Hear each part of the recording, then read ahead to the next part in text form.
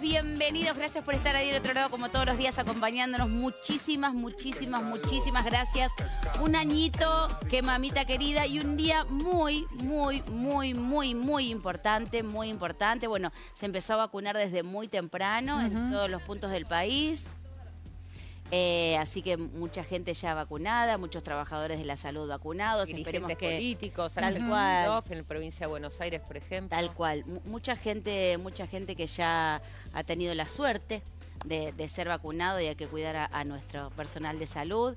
Y también eh, un día muy importante porque hoy se está tratando el proyecto de ley eh, en que ya fue aprobado en el Senado. Tiene en, diputados. Está tratado en el, y hoy en Senado. en el Senado. Arrancó más o menos a las 4 de la tarde. Sí, y se espera un debate de por lo menos 12 horas en una votación muy reñida, donde algunos, algunos eh, creen, creemos, eh, hay una pequeña mínima diferencia en favor de, digamos, del voto verde, pero algunos, digamos, se va a terminar de definir sobre la hora. Día histórico, sin duda, hoy. Histórico, sin duda. Muy, muy importante, muy esperado por, por, por por muchísimas mujeres en lo personal. por las que están eh, vivas. Mujeres y hombres también. Están vivas y tal cual. Así que por, por, porque estamos ganando, si Dios quiere, un terreno muy importante hoy, si, si realmente se aprueba la ley. Así que que sea ley, que sea lo mejor para todas.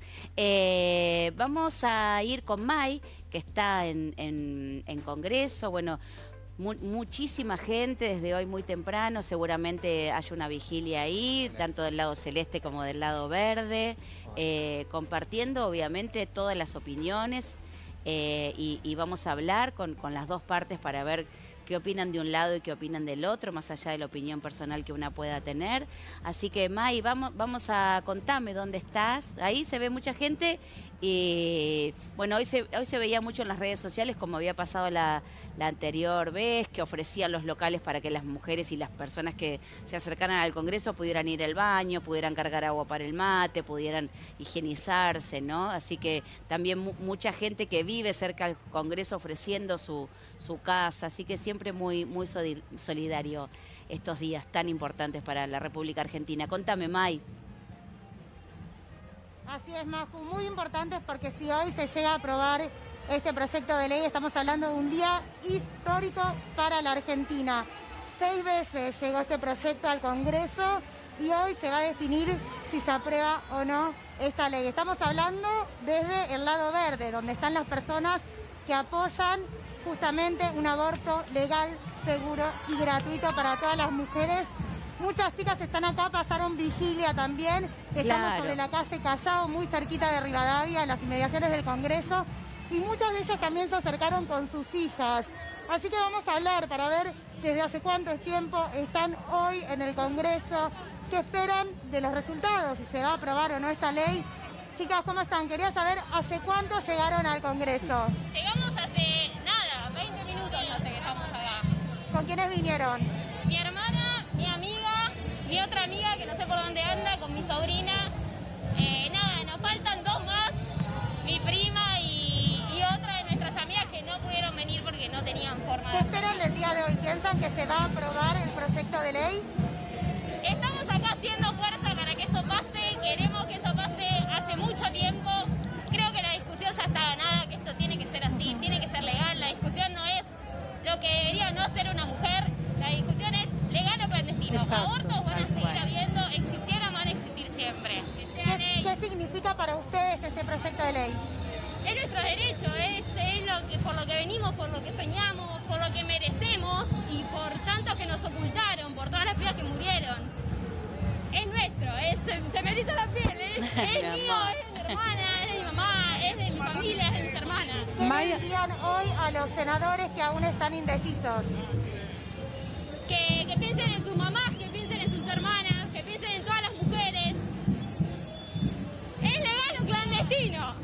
tiene que ser ley. Maya. Maya, eh, es, clave lo que dicen las chicas, ¿no? Porque todos no tenemos que ser hipócritas, el aborto existe y existe desde siempre y lo que hoy realmente se vota es aborto legal o aborto clandestino. Y esto es, eh, es la verdadera lucha, ¿no? Salir de esa clandestinidad. Veo como mucha, mucha Exactamente. animosidad y mucha esperanza de parte de las chicas. Sí, además también mu- muchas, muchas chicas jóvenes, sí. que es lo que siempre Es muy interesante. hay que rescatar de las punto, marchas. Nuestras hijas, hay, digamos. Hay Claro. muchas Sí. generaciones ahí, ¿eh? Están las abuelas, están Son las madres, años. están las hijas, como dice Luciana Pecker, es la revolución de las hijas.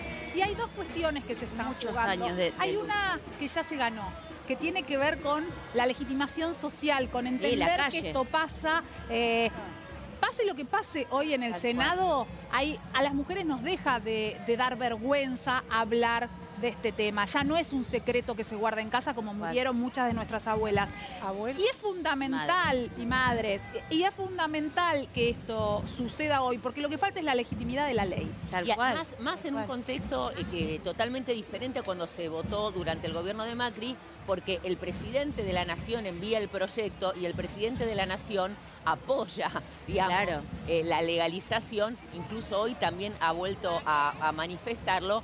Y una cosa muy importante es que también el aborto, digámoslo, es una, el aborto clandestino es una de las principales causas de muerte de las mujeres en edad Sí, reproductiva. pero ahí yo me quiero correr de la cuestión política, Car, porque eh, uno de los principales problemas sería apropiarse, eh, que la votación sea, digo, quienes están en la oposición que voten en contra porque están en la oposición. Sería un error. Senadores que han votado a favor que voten en contra Y un grave eh, error. porque eh, es la oposición. Este es un derecho de las mujeres. Es que más Esta es allá una del votación para la gente, pero debiera tiene- hacerlo siempre. Sí, Lo que quiero decir es que para mí, a diferencia de la votación pasada, donde no había una, un- ¿cómo te podría decir? Una vocación política de que fuera aprobado, sí era inevitable que fuera debatido, que fue lo que habilitó el macrismo, Bueno, hoy hay una vocación un- política de que, de que exista y que absolutamente como, como fue avanzando En la sociedad. y, y si hoy hay que desempatar fue no nos olvidemos que es la vicepresidenta quien tiene que desempatar si se diera esa, Que esa sabemos que situación ya se dio vuelta, que- ah, se dio vuelta, que antes estaba que en contra y que ahora ha está a estado en contra y que dice que, que, eh, Que no siempre hija estuvo de acuerdo. Algo que me de gustó mucho que dijo, que dijo No es una cuestión política, Claro, que dijo de derechos. Claro, que es la, la- pelea de nuestras hijas, ¿no? De, de la juventud. Porque las mujeres siempre tuvimos que luchar por nuestros derechos. Por todo. Luchamos por el voto, por la educación, por, por- para poder ir a la universidad, para poder trabajar. Todo. Y ahora es esta nuestra lucha como mujeres. Y esa plaza, nada, es maravillosa verla vibrando, ¿no? Sí, es, es totalmente, es reclamar lo que nos pertenece, que son nuestros derechos. Vamos a ir con nuestro compañero Luis Grimaldi, que está en la parte celeste, para ver cómo está todo por ahí. Digo, a, a mí esta cosa de, de- de la división, bueno, el, el verde y el celeste el verde y el celeste, Bueno, son pero pensamientos son pensamientos tal cual. Una Eh, cosa son pensamientos y otra cosa es decir que lo que vos estás matando es un ¿no? bebé. Claro. No es un bebé. No, bueno, pero Es la desinformación. formas de pensar diferentes. Sí, no, pero Simplemente. hay maneras de pensar diferentes que tienen que ver Claro. con creer que algo debe ser aprobado o no. Creo Pero hay que- argumentos que son eso. mentira, que son falaces y otros que no, digamos. Y, y del lado celeste se utiliza y se recurre muchas veces argumentos falaces. Sí, yo creo que lo importante es que a quien hoy le toque votar, vote por una, por una cuestión de derechos, sino por una cuestión ni política ni de, ni de pensamiento, porque la verdad que lo, lo que uno pueda pensar no, no, no está en discusión. Lo, lo que se debate acá es otra cosa. Es la vida de las mujeres. Tal cual, tal cual. Uno debería dejar de lado el pensamiento. el- el- lo, lo personal, lo que uno opina, no están para eso, no están para dar su opinión personal, sino para una cuestión de derechos en- de todas las mujeres. Eh, Luis, contame. Hola Luis, ¿cómo va? Gracias por estar con nosotros. No, gracias a ustedes, gracias a las mujeres que se- este debate se está dando. Yo tenía como una idea, si querés la puedo compartir, que en realidad esta es una lucha de las mujeres en es una lucha de las mujeres en general. Si bien hay que reconocer los colectivos feministas que son los que pusieron en debate esta agenda, lo que pusieron la agenda justamente para que se debata todo esto, hay que reconocer que la militancia en las calles, de un lado, de otro, por la vida, por eh, la legalización, ha sido de las mujeres. Los hombres acá acompañamos, solamente podemos hacer eso, acompañar, porque en realidad el cuerpo lo pone la mujer, la que muere es la mujer, y estoy este, absolutamente conmovido por lo que está pasando en este lugar, en el Congreso, donde en la Cámara Alta, hoy, en un día histórico, se va a sancionar una ley donde este, justamente se está traba- trabajando sobre este proyecto de la interrupción voluntaria del embarazo, algo que sabemos que cuesta la vida de tantas y tantas mujeres a lo largo de la historia, ¿no? Tal cual, Luis, tal cual. Gracias, Luis. Luis, ¿cómo, cómo, es el clima? ¿Cómo, cómo- qué, ¿qué, es lo que se siente ahí? Digo, vos recién hablabas de, tu emoción y la, verdad que, las calles tomadas por, por, nosotras es emocionante eh, y también una se siente representada eh, por, por, todas ellas de, de tantos, tantos, tantísimos años que vienen peleando por esto y por tantos otros derechos más. Ahora, el clima cómo es, Luis? ¿Es amable, es amigable? la gente está tranquila? Es un clima más realmente democrático. Yo diría, porque estuve hablando un rato antes con las personas que se encuentran en el lugar, de ambos lados, ¿eh? Eh, del lado verde, del lado celeste, es un clima donde se respira democracia, donde cada uno entiende que puede salir a favor o no eh, de acuerdo a, a sus intenciones, decisiones en la vida, su moral, su ética, separando inclusive lo religioso. Hemos hablado con gente que es muy ortodoxa, muy religiosa, que han, podido, Maju, separar eh, lo religioso de esto y realmente yo creo que es un día donde todos ganamos, ¿no? Independientemente del resultado que sabemos que está muy peleado en la Cámara Alta, con alguna, algún favoritismo, ¿no? Para, para la legalización. Sabemos que va a terminar esto 4 o 6 de la mañana porque hay muchos oradores, son 59, pero lo que se ve en la calle no es beligerancia, no es una grieta, yo creo que ni siquiera haría falta, pero bueno, a veces se hace todo este, este vallado, ¿no? Lamentable que habla mal todavía de nosotros, ¿no, Maju? Me parece que ya no es necesario, creo que tranquilamente se puede, se puede obviar esto. Convivir las dos partes, exactamente. Luis, un placer, muchísimas gracias. Seguramente en un ratito volvemos con vos. Te mando un abrazo muy grande y gracias. Igualmente. Gracias, gracias, compañero. Placer con Luis. Bueno, vamos a ir con Cristian García, que está dentro del Senado, también compañero de acá del canal, muy, muy agradecidos por, por todos los compañeros que nos están acompañando, valga la redundancia, en esta tarde y en este día tan, tan importante para toda la Argentina. ¿Cómo va, Cristian? Gracias por estar con nosotras. No, el placer es mío. ¿Qué tal? Buenas tardes para todos. Hola, Cris. Y aquí en una jornada histórica, ¿cómo andan? ¿Todo bien? Muy bien. Una jornada histórica que promete tener una sesión maratónica que comenzó puntualmente, lo que es bastante extraño. Apenas algunos minutos pasadas, a las 16, comenzó esta sesión que promete extenderse durante 12 o 13 horas. Y digo esto porque hay 59 oradores anotados que van a hablar entre 10 y 25 minutos cada uno. Ya pasaron 8 de estos oradores y se calcula que la votación será aproximadamente entre las 4 y las 5 de la mañana.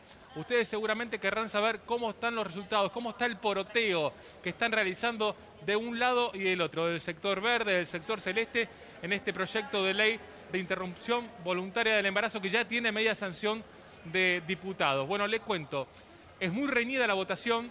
En principio la información que nosotros manejamos es que está liderando por unos pocos votos eh, el proyecto a favor, por lo tanto sería sancionada la ley. Estamos hablando de 34 votos a favor y 32 en contra. Hay cuatro senadores que están indecisos o al menos no hicieron manifiestos públicamente su intención de voto y hay dos senadores ausentes. Y es importante sobre estos dos senadores ausentes. Por un lado, José Alperovich, que está de licencia, y también la licencia de Carlos Saúl Menem por su estado de salud. ¿Y por qué es importante? Porque estos dos senadores tenían el voto ya definido para decidir y repudiar en contra de este proyecto de ley. Eran dos votos celestes, si identificamos un color de cada lado, los que se autodenominan pro vida. Pero bueno, la intención hasta el momento sigue las negociaciones. Puede llegar a haber alguna variante en lo que es el, proyecto, de ley para aquellos senadores que están indecisos, vuelquen a favor de, del aborto, de este aborto legal, seguro y gratuito, su manifiesto públicamente. Perfecto. Cristian, muchísimas gracias. Seguramente volvemos con vos en un ratito, así que muchísimas gracias por estar con nosotros. Muchas gracias. Un abrazo. Hasta luego. Gracias, Cris. Gracias. El cambio del que se habla, Maju, muy chiquito, tiene que ver con una de las cláusulas que dice hasta qué instancia del embarazo, hasta qué semana. se puede abortar, porque quienes están en contra plantean que la ley permitiría que se, se pueda abortar en cualquier momento del embarazo por, decía la cláusula, salud integral, por razones de salud integral. Bueno, esa frase se cambiaría por razones de salud y se especificaría más detalladamente en la reglamentación. Ese es el punto al que hacía mención Cristian que podría llegar a cambiar. Eso sería en la parte, digamos, en la parte nueva, porque en lo que tiene que ver con lo que ya la vieja legislación permitía y amparaba, no hay un límite de semanas. Eh, vos decís, por ejemplo, ante una violación. Ante una violación o ante riesgo de salud de la madre. Habría que ver cómo, eh, cómo si, algo cambia de eso, pero no debiera. Recuerdo, recuerdo así, se me viene así el caso de la, de la niña, no me acuerdo si era de Salta o en Tucumán, que había sido violada por el abuelo. y finalmente terminan practicándole el. Estaba embarazada de cuatro meses, creo, ¿no? Más. Bueno, iremos informándote sobre lo que pasa. Bueno, vamos a recibir al doctor Mario Baudri. ¿Cómo le va? Gracias, gracias por esperarnos. Yo soy muy de equivocarme los apellidos. Es el clásico de la casa, Doc. Cuando usted empiece a venir más seguido lo va, lo va a saber. ¿Por qué no iba a decir mal el suyo? es una muestra de afecto. Doctor, sí. Eso es lo que lo, quiero mucho, entonces me equivoco su apellido. Siempre digo mal los apellidos. Usted puede decirme Vero si quiere. bueno, gracias por estar acá. Muchas gracias, Mario. Mario, bueno, cuáles son las novedades? Las cosas muchas, rarísimas hemos vivido. Muchas ahora en, en el último minuto. Sí. Porque antes de venir para acá salió la resolución en la Justicia de la Plata de la sucesión con lo cual la jueza, como nosotros habíamos pedido ya hace 10 días la competencia en la Ciudad de La Plata, la jueza tomó la competencia, ya nos tuvo por presentado a los cinco herederos y sacó, mm, calcular la resolución tiene 12 hojas, así que sacó exhortos a Dubái, a Suiza, a todos los bancos, hizo todo lo, que se había pedido en todas las presentaciones que nosotros hicimos solicitó se designe el asesor de menores.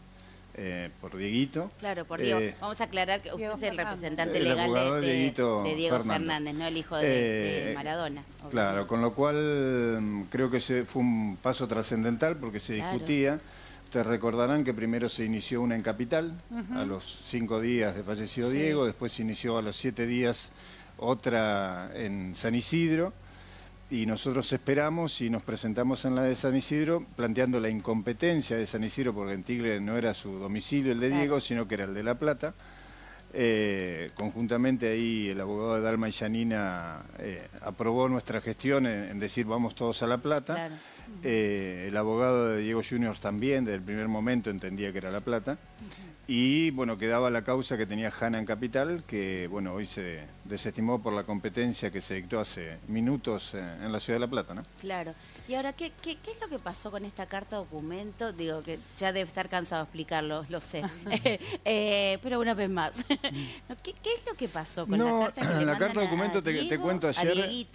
ayer estuvimos, yo estuve en la Fiscalía bastante tiempo, estuvimos los abogados que somos particular damnificados en la causa penal. Sí reunido con los fiscales, charlando, mirando la causa y eh, ofreciendo pruebas en, cuanto al avance de la investigación. De ahí salimos y nos fuimos a una reunión de, de abogados, de todo, nos juntamos todos los abogados eh, de los herederos a los efectos, cada vez que hacemos una presentación, siempre hacer una presentación única, porque si no en el expediente, cinco presentaciones por día, el juez nunca termina de resolver. Una cuestión interna, estábamos bien. Y Igual está bueno. Ah, para facilitar. O sea, cuando todo el mundo pensaba que nos íbamos a pelear, hemos logrado entre todos charlar. Importante. Eh, y una sucesión que iba a tardar 50 años, en abril vamos a tener la declaratoria de herederos y va a estar terminada. O sea, por lo menos la primera etapa. Seguramente habrá diferencias en algún heredero con otro. Siempre, aparecerán tal vez otros. Sí, y siempre las hay, en toda sucesión siempre pasa que pequeñas discrepancias o grandes, pero se verán en cada tema puntual. no, no es el caso nuestro. la gran mayoría está Yo no tengo esa, esa, función de discrepar con ninguno. Por el contrario, estoy tratando de, unir. Tanta eh, cosa, tanto dolor. Así que ayer a las seis, cinco y media de la tarde, cuando yo estaba en la, llego a la oficina después de un día de mucho trajín, que es el horario que yo me quedo hasta las 12 de la noche escribiendo, eh, para hacer las presentaciones que hoy son electrónicas, así que es mucho más fácil. Eh, me llama Verónica de que tenía el cartero en la puerta pidiendo por Diego Fernando Maradona Ojea. Eh, digo, se deben haber confundido, te debe ser la carta para vos, salí igual. Pues se lo dice el de la seguridad. Entonces Verónica sale y el cartero pedía por eh, Diego Fernando. El cartero porque tenía que saber que tenía siete años. No, tal cual. Entonces... Pero quien le envía así. La carta la envía a Yamil Castro, que es el abogado de Morla. Eh, le envía obviamente a los cinco herederos una notificación por carta documento donde manifiesta que en las causas que hay contra Claudia Villafania debíamos eh, presentarnos como herederos a la como herederos a continuar esas causas. Nos notifica 5, pero se olvida las otras 45, que hay 60 procesos más o menos eh, en danza a favor de Diego y en contra de Diego, donde daños y perjuicios, remisión de cuerpo, un montón de cosas, donde la sucesión el administrador, que es Baglietto, debería presentarse en todos los procesos. Claro, son acreedores. ¿Son acreedores o deudores? Son acreedores o deudores de la sucesión. De la sucesión. Todo. Exactamente todo. Entonces, eh, Baglietto debería presentarse. Por eso nos llama la atención la carta documento, porque nos notifican solamente las causas contra Claudia y no nos notifican los otros procesos.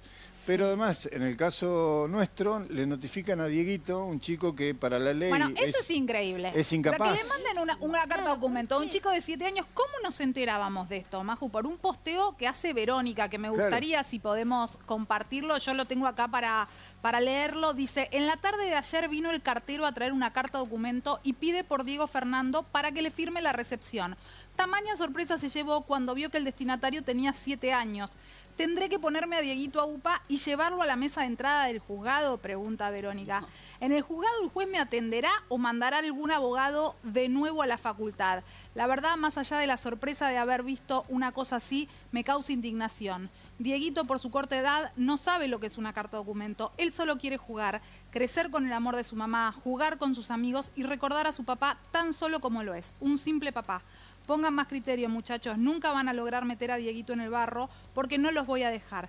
Déjenlo crecer en paz, que tenga una vida plena. Sean parte de la solución y no del problema. Sean más dignos, así construimos un mundo mejor para Dieguito. Seguramente eso quería su papá. Claro, eso es un, yo lo escribo eso a las 6 de la mañana. Yo estaba trato de ser calmo, pero estaba indignado. claro, porque, porque también te, toca, toca contener. Yo, vengo del campo. Ustedes entiendan que yo vengo de un pueblito que cuando yo me fui de General Belgrano éramos 7.000 habitantes. Claro. pero además, ¿quién, mandó esa carta documento? Entonces yo, cuando veo, o sea, maquiné toda la noche, me puso muy mal, y a la mañana me pongo a escribir, escribo mi posteo en Instagram y en Twitter, y Verónica a las 8 de la mañana lo repostear. Yo de entre las 6 y las 8 ya me habían llamado todos los periodistas. Yo estaba indignado. no te daban las manos. Claro, no, y después estaba triste. Ah. O sea, tenía esa sensación distinta, no de enojado. Decepción. sí, de triste.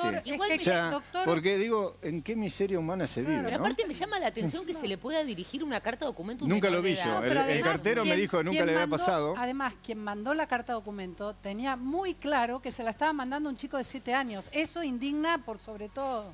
Pero además no tiene la posibilidad, por más que sea heredero. porque no, conocía al heredero. Sumale un agravante. En la causa penal donde Morla ya está presentado, nosotros estamos presentados, yo estoy como apoderado de Dieguito con Verónica. Mm. Y en la sucesión también. En la sucesión está presentado y Mauricio de Alessandro se presentó como apoderado de Morla y Morla está en conocimiento que Verónica es su mamá y que es su apoderada. Es un delirio, es un delirio por donde lo vea. Ahora, o sea, en vez de mandar carta documento tendría que haber presentado un escrito en la sucesión con los 60 procesos que hay. Era más práctico, de hecho hoy la jueza lo intima a Morla a que acredite su personería, porque se presentó en la sucesión sin decir que era. Ahora, ustedes como representantes... Más allá que nosotros tenemos el poder y ahora mañana lo estamos presentando. más allá de la forma de la carta documento... no, encima la carta documento no lo dice, le notifica resoluciones, pero en ningún lado dice que es a Verónica, ni, es más, dice Diego, Fernando, Siempre se dirige a Diego, Fernando. Claro, y el cartero cómo va a saber que un nene Ustedes como representantes no tiene por qué saber. doctor... No trabajo saberlo además quieren continuar esos juicios que había contra Claudia por los departamentos? Nosotros, eh, yo te cuento cómo funciona el, sistema. En la Asociación por la Premura de la Feria y todo lo demás, ya en la, cuando yo me presento en la sucesión de San Isidro, que había iniciado el abogado de Dalma y ellos habían propuesto a Sebastián Baglietto como administrador. Nosotros en la premura y como los, los juicios te intiman a 10 días a seguirlo, los, cierran los juicios por 10 días y te dan 10 días para presentarte hábiles. Y el Estados Unidos nos, nos, dieron 90 días que vence en febrero. Le dije a Sebastián, con el cual me junté antes de aceptar su designación, le digo, yo no tengo problema que seas provisorio, porque a mí lo que me interesa es defender los derechos del nene. Y como vos vas a tener la obligación de continuar todos los juicios, yo no tengo ningún problema que sea si presté conformidad, se lo designa provisoriamente para defender los derechos hasta que en febrero veamos cómo seguimos. En ese contexto, la ley establece para el administrador que no puede hacer ningún acto de disposición. ¿Qué quiere decir? Si no están todos los herederos de acuerdo. En este caso hay cinco. Claro. no puede renunciar a esos Supongamos que él dice, que Dalme Yanina le dicen con todo el derecho al mundo, porque es su mamá. Claro, su mamá. Le dicen, no vas a seguir los juicios contra mi mamá. Pero yo le voy a decir que sí, Hanna le va a decir que sí, y Diego le va a decir que sí. Así sea yo solo el que diga que sí, él no puede disponer el archivo. Te hago, una pregunta. Tiene que continuar. Más allá ah, de, digamos, de todos esos vericuetos que son infinitos y si seguimos pensando van a aparecer otros. Y nunca terminan. Este, realmente con la cantidad de gente que hay, con todos los temas este, judicializados, eh, digamos, legales que hay en, el medio, ¿queda plata para repartir? O sea, por supuesto que debe quedar, pero digo, plata de la que todos pensamos que decís, los herederos de Maradona les Están van a salvados hasta sus tataranietos. Va a quedar bueno, em, esa fantasía, digamos. Hasta ahora lo que yo veo es en los medios, en el expediente no hay nada, y Morla nunca presentó ninguna rendición de cuentas. Presentó un solo escrito, de, tiene tres renglones, y dice que él presentó su rendición de cuentas a Diego Armando Maradona el día, en el, mes, el último, el mes de septiembre de 2020. Pero para, rendición de cuentas, él es el abogado, no el contador. Está bien, pero él tenía un poder, pero él tenía un poder amplio. Poder con todo. No era un poder judicial no solo judicial, sino de administración. Bueno, igual al, eh, digo, tiene otras obligaciones. Sin perjuicio de eso, nosotros hoy en el acervo sucesorio no tenemos la cantidad de bienes que existen, solamente tenemos por eh, gentileza de Mauricio, que nos de Alessandro, que nos acercó los números de cuenta y que de hecho en la resolución de hoy se mm. mandan oficios y exhorto a las cuentas que Mauricio nos pidió porque nosotros los pedimos por escrito. ¿Pero estás hablando de las cuentas radicadas en el país o en el extranjero? y en el exterior también, las que están en Dubái y las que, que están Alessandro tiene una posición mucho más conciliadora que Morla. Eh, Humana como mínimo. Es, muy serio, Mauricio. Eh, eso nos da tranquilidad a muchos eh, de que esté Mauricio porque por lo menos podés dialogar. Sí, que es un Por ejemplo, Mauricio, este error de la carta de documento no lo hubiera cometido porque yo lo llamo ayer por teléfono. Y digo, Mauricio, ¿qué es esto? ¿Qué pasó? Claro. O sea, porque yo en, un primer momento, eh, más allá de la bronca y la tristeza posterior, mm. estaba enojado. O sea, eh, pues por eso yo pongo, por más que lo quieran poner a Dieguito en el barro, yo no los voy a dejar. O sea, por eso escribo que Dieguito quiere crecer en otro ambiente. O sea, esto hay que terminarlo rápido para que cada uno de sus herederos siga su vida. Sí, no pueden seguir toda una vida, tienen que cerrar su ciclo. Tal cual, cada, uno, tiene su derecho a duelar como, como se lo merece. Y vivir en paz. Tal cual. O sea, no puede ser su vida una sucesión. Ni una causa penal. Entonces Mauricio me dice, Mario, no sé de qué me hablas.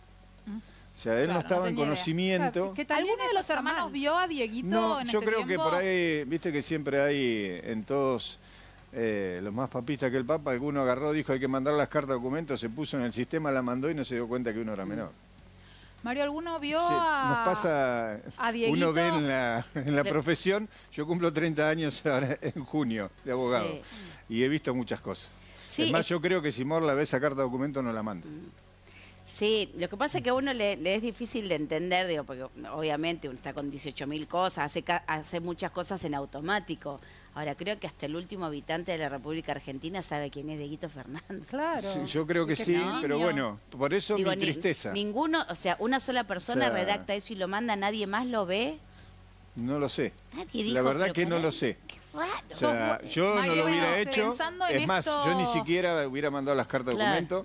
Yo me hubiera presentado en el expediente y hubiera llamado a cada uno y le hubiera dicho, mirá que presenté este escrito y te mando copia y no, hubiera, no esperaría la intimación que ahora tiene la jueza contra Morla para que acredite su personería, si no yo hubiera presentado buena fe en el expediente, miren, están estas cuentas, están estos bienes, esto es lo que quedó, estos son los contratos que tenía Diego.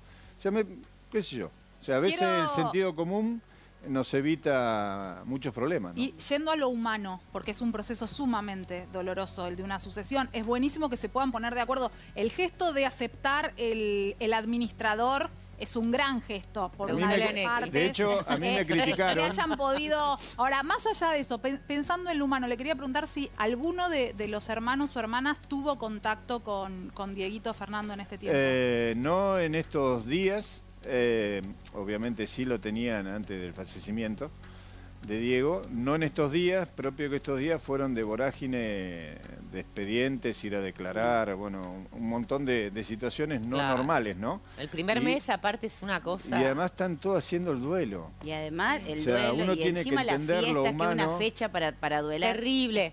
No se puede. Y ahora se viene la feria. Eh, sí, pero eh, yo trabajo todos los días. Van a seguir trabajando. Ahora, el, tema de, digamos, Morla tendría que haber Digo, ¿por qué demoraría o por qué tantas trabas de parte de Morla? No lo, la verdad que yo no he logrado hablar con él. No está obligado eh, judicialmente a presentar nada. Recién la, primera, la, primera intimación que va a tener, que fue hoy, que le llegó la cédula, donde él tiene que acreditar su personería. Eh, de hecho, nosotros mañana vamos a estar eh, buscando, presentando los poderes que él tiene. Mm. De hecho, no tenemos los poderes que él tiene porque él no tenía poder en Argentina, por eso no lo encontrábamos, lo tenía en Brasil. Ah. Mm. Entonces, hay que, y hay que presentarlo y pedir la rogatoria a Brasil para que mande copia, pero nosotros tenemos copia de los poderes que él sí dio en Argentina. ¿Y por qué no lo tendría en Brasil y no en Argentina? Supuestamente porque en el 2014 en el Mundial lo hizo firmar allá a Diego. Pero desconozco, yo te digo lo que yo vi cuando fui a buscar el famoso contenedor. Claro, pues tampoco es que se sabe todo. No, no, se sabe todo. Sería mucho más sano si él se presentara y nos explicara, como, como ustedes lo ven hasta en el cine, que cuando hay un, administrador te citan a los tres días. Como suele pasar en casi todas las familias. Nos juntamos en una mesa y decimos, mire, papá dejó esto, ah. eh, es todo claro. Lo que pasa que cuando hay tanto interés, ahora no puede ser una especulación de parte de Morla, y, pero que haya cosas que no estén en clara y él esté tratando de, eh, te doy el efecto contrario. Él dice que tenía que rendir cuentas hasta septiembre, estaba rendida cuentas y tenía que rendir el resto.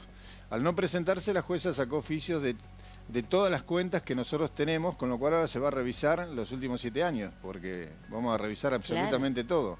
Entonces, las cuentas las puede haber rendido a Diego y hay que ver si eso estaba bien o mal. Bueno, pero habrá un contador también. Ahí hay que ver si son las firmas de Diego, si no son las firmas de Diego, si está certificado con escribano, como dicen. A ver, todo lo que se dice es solamente en los medios. pero ¿y las en el expediente, en el expediente no hay nada. Doctor, ¿y las declaraciones juradas de Maradona? Eh, las de Argentina. No hay nada. En el expediente no hay nada. Ajá, Cuando te digo nada es nada. O sea, no se presentó existir porque... nada. O sea, si no, él tendría un problema con AFIP si no hubiera hecho más allá él de tiene que, tener supuestamente el contrato con gimnasia tiene que estar declarado y todo lo demás que hay en el exterior tiene que estar declarado. Y de hecho todas las publicidades se hacen de manera muy prolija en general. Supuestamente en eso, según me dice el doctor de Alessandro, está todo muy prolijo, pero la realidad que, que nosotros como abogados de los herederos no Todavía no vieron nada. Muy prolijo y muy escondidito. Cuando te digo nada es nada o sea, lo único que recibimos hasta ahora son los tres autos, dos que estaban a nombre de Diego y que los medios, por ejemplo, la Coupé, que los medios dicen que valía 190 mil dólares, yo tengo la factura que la pagaron 6 millones 200 mil pesos. Y no era cero kilómetros, sino se la compraron a un tercero.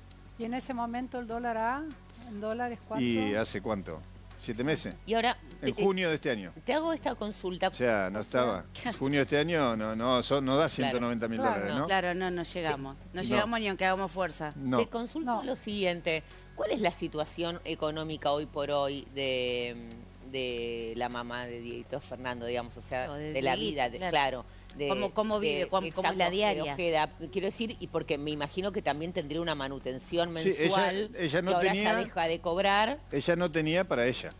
No, no, para, su hijo. Ella tenía un alimento para... La cuota para su para Dieguito, sumado al tratamiento médico que Dieguito tiene claro. en todo. Y después lo único que se le pagaba, el colegio, que este año no lo pagaron, el colegio de Dieguito, y se pagaba nada más que el seguro de la camioneta de Verónica.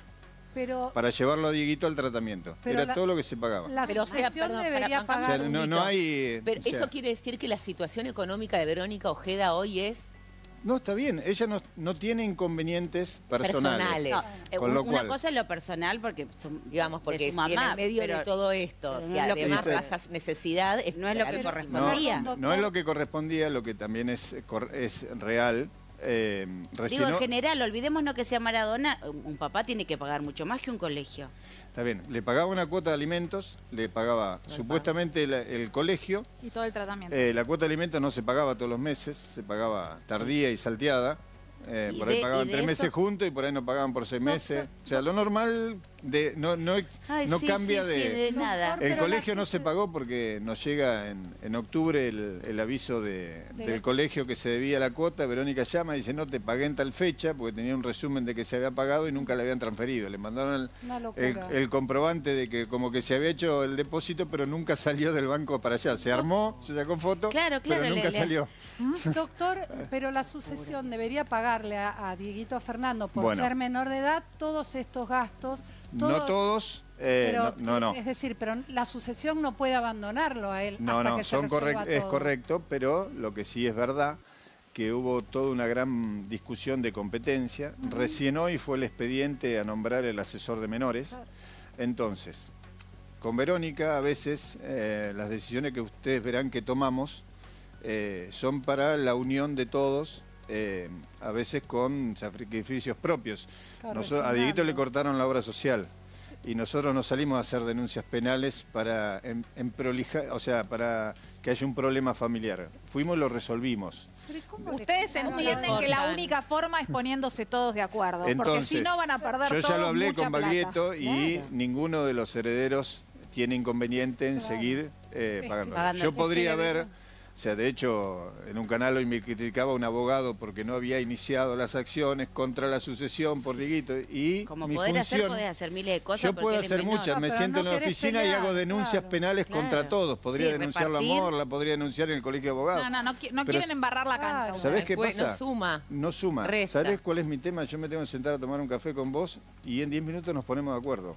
Porque te presento a Dieguito, lo vas a entender y el asesor de menores me va a dar la razón. Claro. Por lo menos me va a decir, Mario, aunque sea te lo doy como adelanto de legítima de la parte de ustedes, porque ¿qué le voy a mandar? ¿Una carta no, ustedes la, la, posición que tienen es de buena voluntad. Se nota de defender los intereses de Dieguito, que tenga todo lo que le corresponde tener, pero desde la buena voluntad y logrando el consenso entre todos. Y, y en la rapidez. Si yo hago una denuncia penal o inicio un juicio de alimentos, si todo voy a tardar un año. En cambio, sí la semana que viene, que ahora ya tengo mi primer prohibido, lo, tengo resuelto. Entonces, todos los que critican y hablan, a veces lo hacen. más rápido. No, porque eh, a los abogados, los abogados eh, nos gusta sumar conflictos para generar honorarios. No es mi caso. Yo no estoy atrás de sacarle eh, honorarios a Dieguito. Por el contrario, estoy colaborando para que él no tenga que gastar nada y tenga una vida plena. Entonces, tener una vida plena significa tener una vida plena sin conflictos. Si su vida va a ser, en lugar de juntarse con sus hermanas a jugar o a tomar la leche, eh, estar peleando si le pasan una cuota de alimentos o no, me parece que no es vida para Dieguito. y no es lo que Diego me pidió a mí, Diego padre. Entonces, yo mi prioridad es Dieguito. Y la solución del conflicto la más rápida y en el menor corto tiempo posible y con el mayor beneficio para Dieguito. Entonces, si yo genero conflictos denunciando a quien no, no tengo que denunciar para generar solamente honorarios, o me planteo competencias histriónicas en la Corte para generar honorarios, como decías vos, no va a quedar nada en la sucesión. Entonces mi función es generar el menor conflicto posible. No, se cumple con el fin. Lo más rápido posible para que Dieguito tenga su solución lo más rápido posible.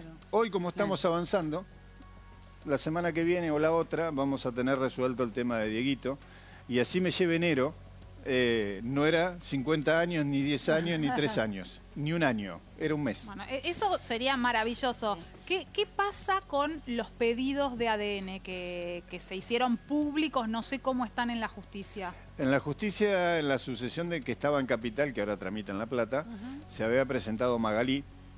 Yo de hecho hoy hablé con el abogado, pues ustedes sabrán, yo ofrecí eh, los ADN de las ocho muestras que están en la justicia de Diego y a su vez eh, los hijos, varios de los hijos de Diego, ofrecen hacerse el ADN ellos. Si el expediente está avanzado lo suficiente como para justificar eh, el ADN y el juez lo dispone, nosotros lo hacemos en forma inmediata. O sea, a ver, ¿cuándo, ¿por qué? Y te lo voy a explicar desde el lado de Dieguito, no te lo voy a explicar del otro tema. ¿eh? O sea, vos sabrás que nosotros nos presentamos la causa penal primero mm. y en la sucesión fue lo último que hicimos. Y terminó donde nosotros queríamos que terminara, que era en La Plata, que fue su último domicilio. Eh, pero una de las formas de que Dieguito crezca libre de culpas y, sin temas, sin cerrar en su vida, es que saber quiénes son sus hermanos de verdad. Entonces, si yo lo expongo a Dieguito a un conflicto de filiación de 10 años, 15 años, no le sirve al nene. Entonces, si yo puedo terminar en 6 meses, 7 meses, la afiliación si son o no hijos de... Porque pasan otras cosas. Hay muchos que dicen que son, pero nunca inician un expediente. Claro. De eso va a haber varios casos. Entonces, los que estén en condiciones de hacerse el ADN, nosotros estamos a disposición y de hecho el abogado Magalí me llamó hoy a la mañana, porque Magalí llamó ayer, yo me puse a disposición y entre ¿Los mañana... ADN paga la justicia? Y así los tengamos que pagar privado, no... Sí, algunos podrán y otros no. Pero, sí con denuncia judicial, sí con expediente judicial, no a cualquiera que sale en televisión a, aprovechar. Algo serio y que se justifique Magalí, que es la que más avanzada está, y si en el expediente cuando yo lo vea amerita que lo hagamos, en forma inmediata nos ponemos Se va a hacer, no hay trabas con eso. O sea, no nos vamos a poner, eh, al contrario, vamos a facilitar porque mi función es que Dieguito sepa quiénes son sus hermanos. No dilatar todo esto, sino realmente eh, resolverlo. como Verónica no le interesa si reparte entre 5, entre 6 o entre 7, no es el problema de Verónica personalmente ese. O sea, no, no está atrás de eso porque no sabemos, incluso no sabemos si hay algo. Si tampoco saben cuánto Claro, entonces, ¿qué no, vamos a, ver? Yo estoy segura que a ver debe haber. Que aparezcan 5, 10 20. Hay que ver dónde no es el problema. el problema. En este momento no cambiarían las cosas. No cambia nada. Cambia en la tranquilidad que pueda tener Verónica y en la tranquilidad que pueda tener Dieguito y sobre todo él. Y poder retomar la, la, vida lo, más pronto posible. Recordarlo a su papá desde todo lo lindo. Sí, lo que pasa es que Dieguito tiene, por su corta edad, él no recuerda a Maradona como lo que es. Él para él solamente es su papá. Claro, nada más. O sea, él, él era feliz con ir, por más que Diego no estuviera bien, y ir a tirarse en el sillón, apoyar su cabeza en el pie y ponerse a jugar a la tablet. porque para él lo único importante era eso, ver a su papá, ir a abrazarlo. O sea... Y, nada, y, es lo, y es lo que realmente importa. Doc, espéreme un segundito. Eh, yo quiero escuchar el, audio que Maradona le, le, dejaba. Bueno, vamos a escuchar el, audio que Maradona le dejaba al doctor Baudry. Mira.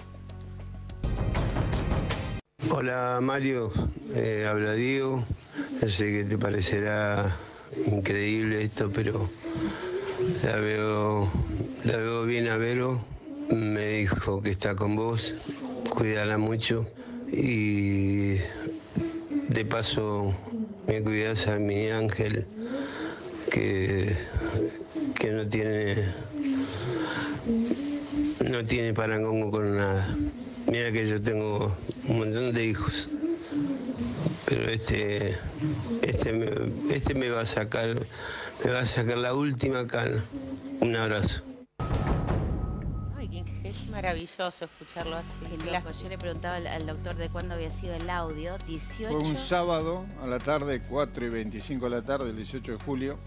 Además, yo estaba en una reunión trabajando, eh, importante. Entonces yo vi que me sonaba el celular y como soy yo me pareció una falta de respeto con las personas que estaba poder atender el teléfono. Tenía siete llamadas. Entonces cuando terminamos eh, la reunión que estábamos de trabajo el sábado a la tarde, a esa hora, eh, cuando pedimos los cafés para tomar la distensión, digo, bueno, voy a ver quién me llamó. Claro, Y pongo el audio con las dos personas que yo estaba. Y todos nos quedamos helado. Y porque yo tenía una imagen de Diego, que es la que me vendían. ¿Nunca, nunca habías tenido contacto vos? Eh, no, no, jamás. Nunca. No, yo, además yo soy de River, así que no tenía forma. no había modo. No, había forma de, ¿Le respondió? Eh, a partir de ahí empecé a tener una relación. De hecho, yo lo mudé. Yo lo fui a buscar a Bellavista y lo llevé hasta Brance. en mi auto. ¿Qué sintió cuando escuchó el audio? esto te cuento. Primero muy sorprendido, como él dice en el audio, sé que te va a sorprender, ¿eh? porque, la, imagen que, yo tenía de Diego, todos me decían, mis amigos, me gastaban, y me decían, Mario, deja Verónica, mirá que te va a agarrar Diego y te va a castigar. Te va a romper todo. Y la verdad que lo que yo viví con Diego desde julio en adelante, que fueron pocos meses, pero hablé, tengo nueve mensajes, un video para mi hija con un regalo para mi hija. O sea, él no solo hablaba conmigo, sino le hacía regalos a mi hija. Mi hija tiene 14 años, se llama Kiara. Y es de boca, entonces él le hacía regalos para gastarme a mí, me mandaba audios a mi hija gastándome a mí. A propósito. Sí, de que soy personaje oscuro de River, eh, que era mejor boquita. Eh, entonces él me empieza a pedir cosas, entre ellos me pidió que lo lleve. Ese día en el auto. locura que te haya pedido, digo, no, no, no, me parece genial, pero digo, qué loco que Maradona, que es Maradona, haya recurrido a la pareja de una de sus ex Me parece que habla de una generosidad. Para pedirle que. Me parece que, habla de, querer que su ex mujer y su hijo estén bien. Yo no tengo. A ver, entonces lo que vos.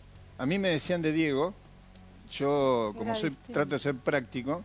Si no coincide con lo que usted vivió. dejé de lado eso y dije, me abro a tener una relación para tratar de, dentro del respeto mutuo.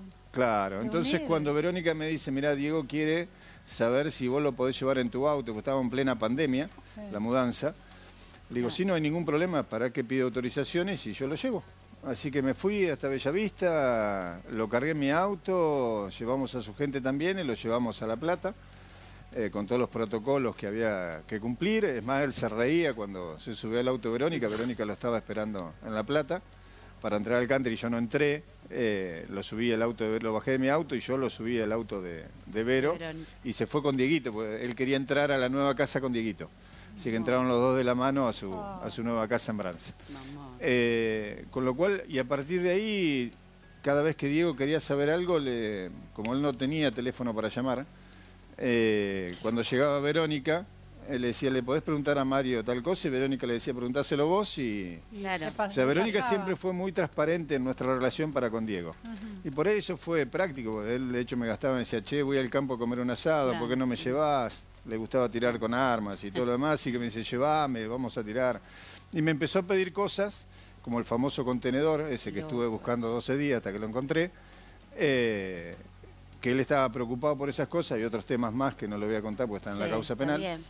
Eh, sí, pero como de cuidado, ¿no? daba la sensación como que se quería quedar tranquilo, como, que hubiera estado organizando algo. Como si hubiera sabido algo. De no, yo creo que él estaba preocupado por sus cosas, desconfiaba de gente. Claro. Y... Ojo con lo que está diciendo el doctor, ¿eh? porque está en la causa penal. Ojo con lo que él desconfiaba de gente, entonces me pedía investigar como el contenedor. Él cuando me llama y me pide que investigue lo del contenedor, me dice, Mario, me está llegando un contenedor, necesito que lo guardes para Dieguito. Así claro, y me dijo, hay dos cajas de seguridad, tienen los regalos que me hicieron de oro allá, una edad, bueno, mm. varias cosas que... ¿Y él te cuenta todo eso a vos? por teléfono, cinco minutos estuvimos hablando. Y él sabe todo. Entonces, eh, pero eh, había gente que estaba escuchando que yo estaba hablando, ¿eh? no de mi lado, sino del otro también. Entonces, le digo, no hay ningún problema, viene a nombre suyo, me dice, sí, está a nombre mío. O sea, y le digo, bueno, Vero, déjame que voy a empezar a averiguar. Empezamos en el estudio a averiguar dónde estaba el contenedor. Yo, iluso, porque dije, bueno, pido el contenedor Maradona por sistema, me va a salir. Claro, pensó que iba a ser recontra fácil. Más entonces, no, lo encontré. Eh, entonces le digo a uno, un especialista que tengo, eh, derecho donero, le digo, busca tres meses para atrás. Buscamos tres meses para atrás. Mario no está. Digo, buscá no de Dubái, buscá de México, porque decían que un contenedor venía de México. Tampoco estaba. Entonces llamo a otro amigo, me dice que es más especialista todavía, y me dice, vamos a llamar a las navieras y vamos a llamar a los depósitos fiscales. O sea, en lugar de hacerlo por sistema, vamos a llamar uno por uno. Se llamó a un montón de gente, se molestó un montón de gente, y un empleado dos días después de ese llamado, eh, cuando llamamos a todos, la llaman a Verónica y, le, la contadora de Morley le dice, che, dejate de joder con el contenedor, no lo busques más, que ese tema está resuelto. ¿Mm? Pero Diego no lo sabía. Entonces, dos días después de ese llamado, mm, nos llaman a un amigo que tengo común, al que le había pedido esto, y me dice, mira, no es un contenedor, hay una baulera a nombre de Diego Maradona, pero el apoderado es Sergio Garmendia, y está en tal lugar. Entonces yo al otro, ese día le digo a Verónica a la noche, le digo, mira, lo encontré, no encontré un contenedor, encontré una baulera. A nombre de Diego, y eh, por favor avisale a Diego. dice, no, mañana yo voy a verlo y te llamo. Entonces cuando eh, está con Diego, me llama, Verónica, de su teléfono. Y me pasa con Diego y le explico que no hay un contenedor y una baulera. Y una baulera que el contenedor estaba metido en la baulera. No, no, no. Bajaron, no, lo recibieron. es, más, ese contenedor... Quiero saber qué, había en la baulera y, qué pasó con el contenedor. El, la baulera, debe tener 7 eh, metros cúbicos, 10 metros cúbicos, como mucho, y un contenedor es de 20 pies o de o de 40 pies, o sea, y había 7 piezas y no, no había... O sea, mucha diferencia. O sea, mucha diferencia entre el, tamaño, de un contenedor y el tamaño de lo que hay en la baulera. Pero nosotros ahora que seguimos la investigación, yo le cuento esto a Diego y le digo que no está a nombre de él, sino que está a nombre de Sergio Garmendia. Eh, bueno, ustedes se imaginarán el carácter de Diego, ¿no? Ahora, ¿por qué él eh, no le pregunta directamente a Morla? Bueno, estuvo preguntándole mucho tiempo y nosotros después nos enteramos que el famoso contenedor, la baulera, se alquiló en agosto, porque la mm. gente de la baulera, Infobox, la verdad que brillante, se manejaron como, fueran, como si fueran un banco, porque el día que falleció Diego lacraron las entradas de la baulera con escribano y no dejaron entrar a nadie. Claro. Entonces, cuando yo pido esto, que fue antes de, de internarlo en Ipensa, cinco días antes, cuando yo empiezo a hacer este ruido, van cinco personas a hacer el inventario famoso que ustedes ven en los medios que se sacan con las cosas que hay adentro. Eso es todo lo que hay, que sobra espacio en un gran contenedor, obviamente. Y entonces, cuando vamos ahora, nos enteramos que el 3 de diciembre Sergio Garamendi, después falleció Diego, quiso volver a entrar y no lo dejaron porque estaba lacrado. Y que la bolera está alquilada desde agosto del 2019 y el contenedor llegó en noviembre del 2019. O sea, le estuvieron ah. ocultando el contenedor a Diego un año. Un año entero. Y mm. el contenedor no está dentro de la baulera. Llegó un camión sin eh, precinto de aduana y sin GPS. Con lo cual había estado en otro lado, llegó un contenedor, bajaron las cosas. Sí, te mando un beso grande, ¿no? Claro. Qué locura. Mario, espéreme un segundito porque le quiero preguntar si, si usted tiene idea de quién podía sospechar Diego. Pero no me lo conteste, ahora. ¿De quién sospechaba? Digo, para... Eh, Diego me pidió varias cosas. Em, por ahí cosas que salen en los medios de, que dice que Diego los quería y todo lo demás, no están así. Pero como están en la causa penal, eh, yo soy respetuoso de, eso y estamos avanzando muy bien, la justicia viene trabajando muy bien. Eh, así que preferiría esperar un par de meses que, vamos a tener muchas noticias, sobre todo por lo que representa Diego, lo que representa a nivel mundial la gente que lo quiere.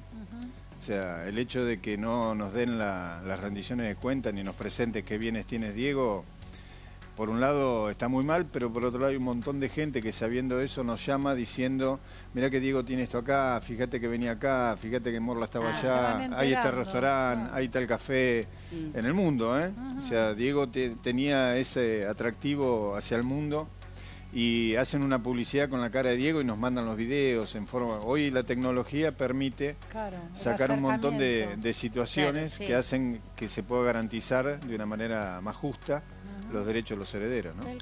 Pero bueno, la causa penal va avanzando y, yo tengo fe que, vamos a poder determinar cómo lo mataron a Diego. qué locura. Y sobre todo si están todos... ¿Por, qué dice cómo lo mataron a Diego? ¿Cómo? Claro. O sea, a ver. Tiene que decir esto 30 segundos antes de que termine el programa porque es grave. Claro, imagínate que el, doctor Luque presenta su exhibición de prisión por homicidio culposo, de 1 a 5 años de prisión. O sea, cuando vos tenés a alguien que tenés investigado y se, hace caratula con homicidio culposo, imagínate lo que es la causa de ahí para arriba. Mm. O sea, la causa va a generar sorpresas los fiscales vienen poniéndole muchas horas, muchas ganas. Eh, los abogados querellantes, si bien yo fui el primero que me presenté, eh, ayer estuve con el abogado de Dalma y Yanina trabajando y con los abogados eh, que puso Hanna, así que venimos trabajando bien. Yo estoy, me, paso horas yendo y viniendo y aportando Lástima elementos que de prueba. esta situación para que se unan todos los hermanos, ¿no? increíble. Y de alguna manera el hecho de tener un poco de experiencia en en inteligencia criminal, en política criminal y tantos años de abogado hacen que podamos aportar a la justicia muchos elementos que después la justicia es la que tiene que resolver si nos hace lugar a lo que pedimos o no, ¿no? Claro, perfecto. O sea, pero es una internación domiciliaria donde no había ninguna internación, había un estado de abandono general y total. Muy extraño Diego todo. estuvo en una etapa de agonía larga de 8 a 10 horas.